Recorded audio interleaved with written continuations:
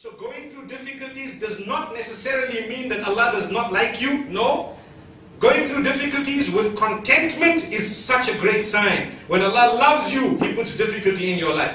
Yesterday I spoke about a brother, a friend of mine.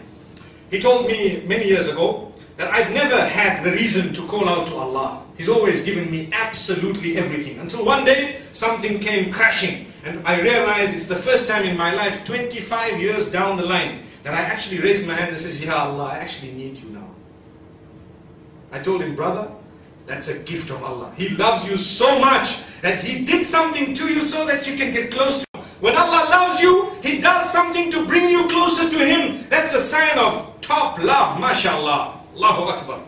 Allah loves you. That's why He put difficulty in your life. This is why the hadith clearly says, إِنَّ اللَّهَ إِذَا أَحَبَّ عَبْدًا ابْتَلَاهُ when Allah loves someone, He tests them a bit more. So you have more tests. But brother, this is going wrong, that's going wrong, this is going wrong. Nothing is going wrong. It's Allah who wants you to turn to Him. Just continue making dua to Allah. Turn to Allah. People have problems. Listen, we have examinations, don't we? MashaAllah. Exam time, what do we do? Suddenly, the Quran comes out, the Musalla comes out, mashallah. Everything, Allahu Akbar.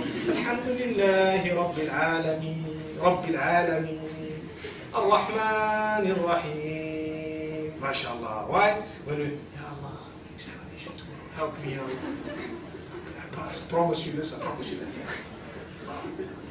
You wrote the examination, what happens? Results come out. A's. Ah, guys, let's go clubbing, man. Allah, we fast, we go to party, don't we? That is so tempting. But this is why the Quran says that when man is affected with difficulty, he calls out to Allah subhanahu wa ta'ala. وَإِذَا أَنْعَمْنَا عَلَى الْإِنسَانِ أَعْرَضْ وَنَآ بِجَانِبِهِ When we give man goodness, he turns away. He turns away to his sides. As though, subhanAllah, he was never affected by anything. And Allah says, when we test him, وَإِذَا مَسَّهُ الشَّرُّ فَذُو دُعَاءٍ عَرِيضٍ When we test him, when evil touches him, he makes the broadest of du'as. Oh, for hours on end, Ya Allah, Ya Allah, look at what has happened, Ya Allah, help me, help me, help me. And Allah says, hang on, isn't it such a beautiful condition? You love me, you're worshipping me, your levels of sincerity are so high. What if I kept you like this all your life? Wouldn't you enter paradise automatically? Subhanallah. Look at what we've got in store. But we don't look at it that way. How do we look at it? Oh, this is this a punishment? Is it, well, it's the love of Allah. You've got to look at it that way.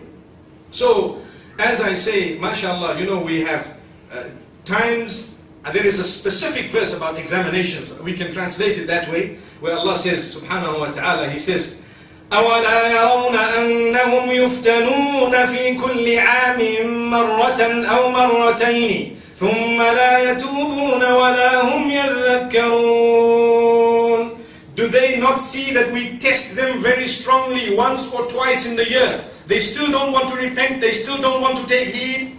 Allahu Akbar. Aren't we tested once or twice in the year with big, big examinations? And then we still don't want to repent, we still don't want to take heed? What do we expect? May Allah subhanahu wa ta'ala open our doors. Allah through His mercy still grants us goodness even though sometimes we don't deserve it.